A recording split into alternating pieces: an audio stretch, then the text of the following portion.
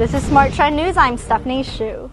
BHP Billiton and Rio Tinto abandoned their plans to form a $116 billion iron ore joint venture after regulators in Australia and elsewhere indicated they would block the deal because of concerns over competition.